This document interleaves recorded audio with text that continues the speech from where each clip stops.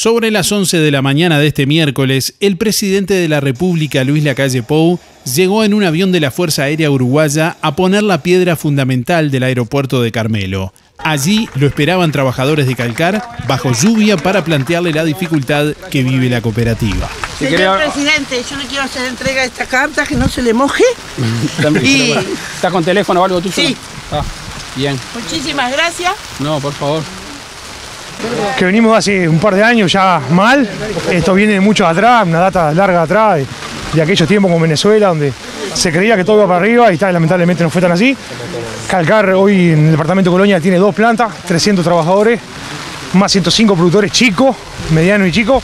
Necesitamos un auxilio de presidencia, necesitamos un, una ayuda, un empujón, algo que nos permita poder seguir continuidad, conseguir el laburo y, más que nada el pedido auxilio. Bien, les cuento un poco, bueno, vos me decías recién que tienen con el banco, el Banco República le está buscando la vuelta, tiene toda la intención, entendemos que hay algún tipo de obligaciones también con la banca privada, entonces esa decisión o arreglo que haya con las distintas instituciones, las privadas y las públicas, el Banco República está dispuesto a hacer el esfuerzo, recién me decía el, presidente del banco, así que quería venir hasta acá a comunicarle, obviamente después algún tema de reestructura de, la empresa que ya no nos corresponde a, nosotros. Y bueno, veremos cómo pasamos el tema este del mercado ruso que es, que es importante, pero desde el punto de vista del Banco República hay toda la intención de dar una mano para, poder afrontar esta situación. Venía hablando con el presidente del banco de eso. Desde ya, muchísimas gracias, señor Dale.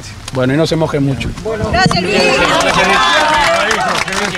Posteriormente, el primer mandatario puso la piedra fundamental de la obra del aeropuerto de Carmelo, que tendrá una inversión de 8 millones y medio de dólares.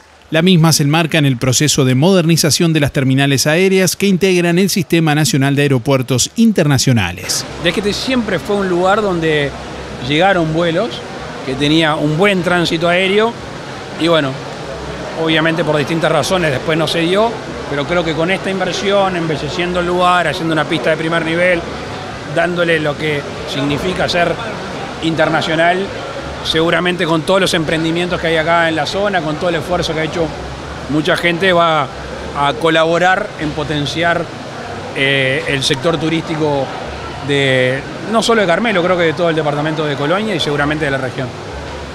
El nuevo aeropuerto de Carmelo, ubicado a 8 kilómetros de la ciudad de Carmelo, en el balneario Sagarzazú, contará con una nueva pista de asfalto con balizamiento. La obra sumará una nueva terminal de pasajeros, cerco perimetral, accesos desde Ruta 22, iluminación, destacamento de bomberos y nuevos hangares, entre otras cosas. Está previsto que las obras finalicen a fin de año. Aeropuertos Uruguay comenzará el 22 de abril las obras de refacción del aeropuerto de Rivera y posteriormente hará lo propio en Salto, Durazno, Melo y Paysandú. Desde Carmelo, Darío Izaguirre, Canal 5 Noticias.